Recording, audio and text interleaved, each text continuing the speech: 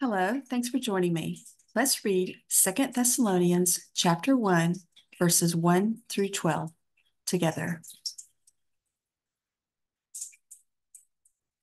Paul, Silvanus, and Timothy, to the church of the Thessalonians, and God our Father and the Lord Jesus Christ, grace to you and peace from God our Father and the Lord Jesus Christ.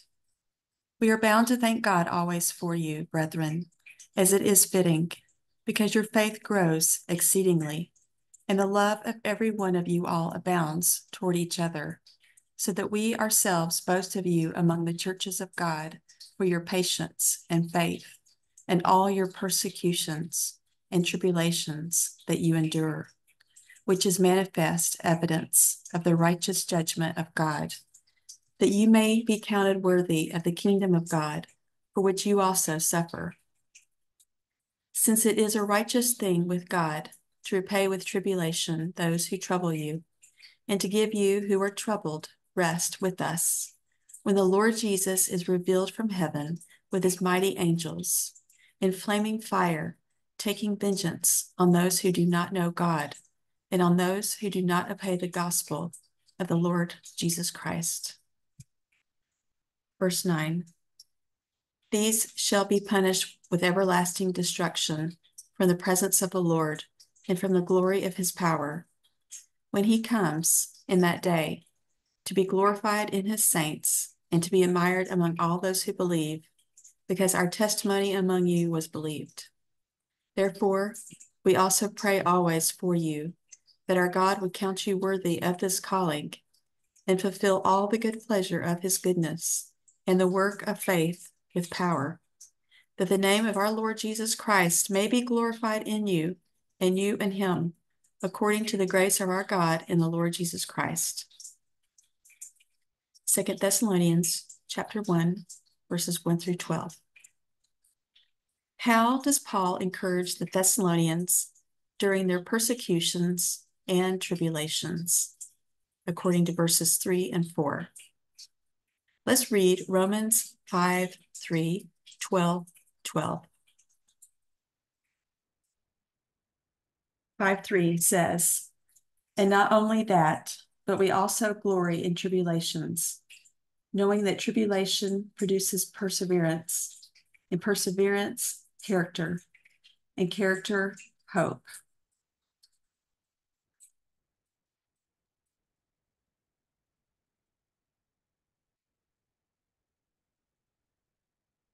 12 12. Rejoicing in hope, patient in tribulation, continuing steadfastly in prayer. Let's turn to 2 Corinthians 1 4.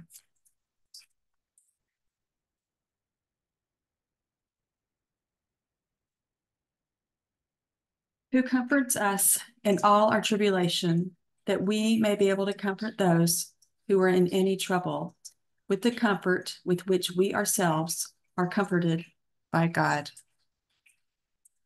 6 4.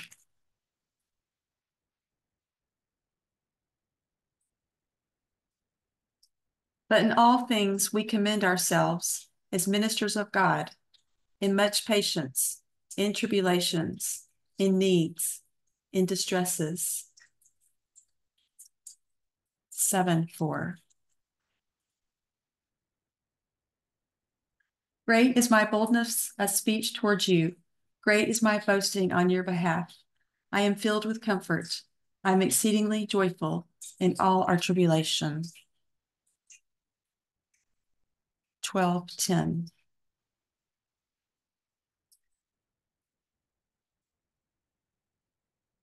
Therefore, I take pleasure in infirmities in reproaches, in needs, in persecutions, in distresses, for Christ's sake. For when I am weak, then I am strong. 1 Thessalonians 3 4.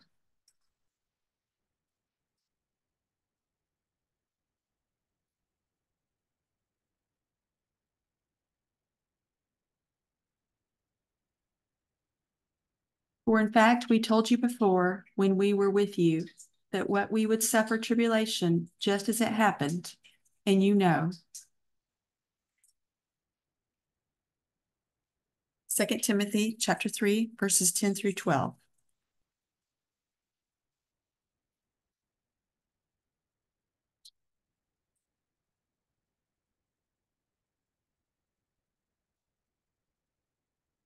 But you have carefully followed my doctrine, manner of life, purpose, faith, long suffering, love, perseverance, persecutions, afflictions, which happened to me at Antioch, at Iconium, at Lystra. But persecutions I endured, and out of them all the Lord delivered me.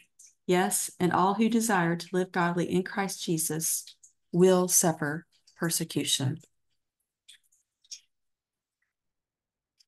So, how does Paul encourage the Thessalonians during the persecutions and tribulations, according to verses 3 and 4? Paul encourages the Thessalonians during their persecutions and tribulations by reminding them of their faith, love, and patience. Also, tribulation produces perseverance, and perseverance, character, and character, hope. Thus, we are to rejoice in our tribulations and pray continuously. God does not leave us alone in our pain and suffering. He comforts us in all our tribulations so that we can comfort others. What does Paul mean that the Lord Jesus will take vengeance on those who do not know God, according to verses 6 through 10? Let's turn to Romans 12 19.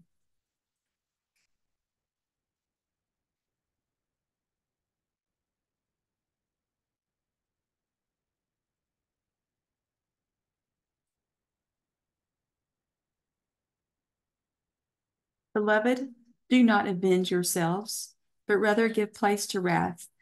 For it is written, Vengeance is mine, I will repay, says the Lord. In 1410.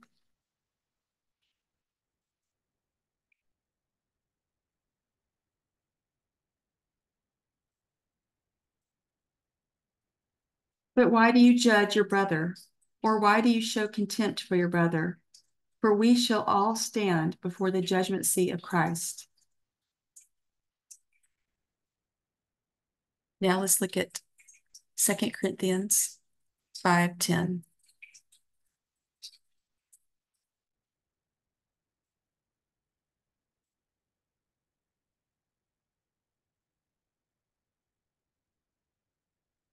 For we must all appear before the judgment seat of Christ that each one may receive the things done in the body according to what he has done, whether good or bad.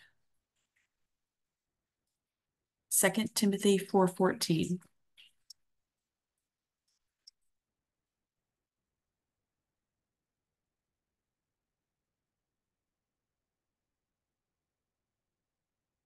Alexander the coppersmith did me much harm May the Lord repay him according to his works.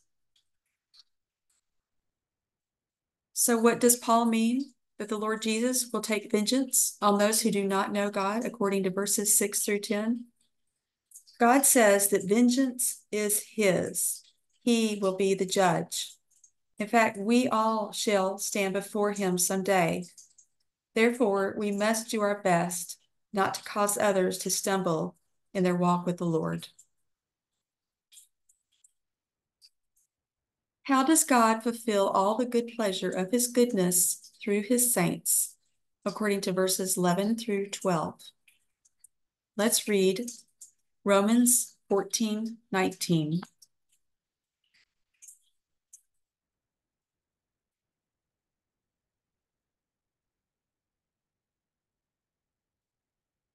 Therefore, let us pursue the things which make for peace, and the things by which one may edify another. Let's look at Ephesians 4 1.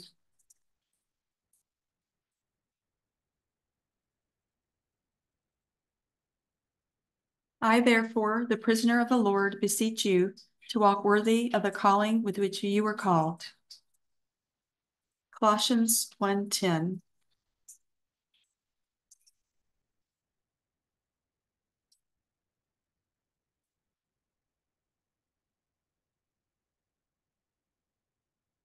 That you may walk worthy of the Lord, fully pleasing him, being fruitful in every good work and increasing in the knowledge of God. 1 Thessalonians 5:11.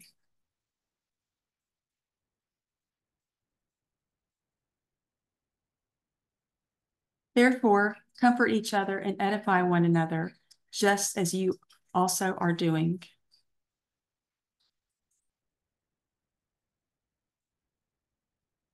How does God fulfill all the good pleasure of his goodness through his saints? According to verses 11 and 12. God can fulfill all the good pleasure of his goodness through his saints by enabling them to pursue things that are peaceful, bring unity, and build others up.